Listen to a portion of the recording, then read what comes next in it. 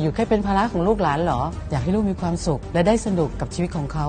มากกว่าต้องมาคอยดูแลเราที่เจ็บป่วย เราต้องเลือกว่าเราจะแก่แบบไหน แก่แบบนั่งรถเข็น หรือว่าแก่แบบมีคุณภาพชีวิตที่ดี ตลอดชีวิตผมไม่เคยหุ่นดีแบบนี้มาก่อนเลย วันนี้ผมทำได้แล้วครับ ก็ตอนแก่นี่แหละครับผมมาค้นพบอะไรหลายอย่าง ก็ตอนลดน้ำหนักตอนแก่นี่แหละครับ ผมเองยังไม่อยากจะเชื่อเลยว่า ผมรู้สึกวัยรุ่นได้ขนาดนี้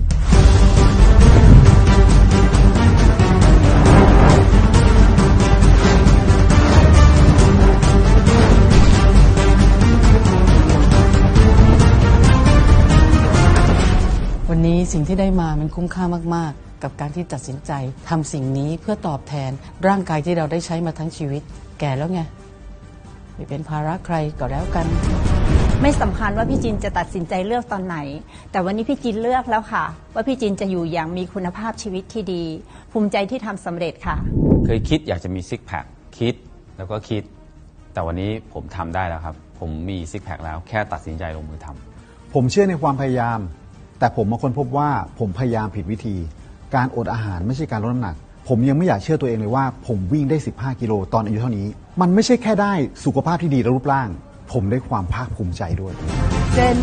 บอดี้เซนบอดี้เซนบอดี้เซนบอดี้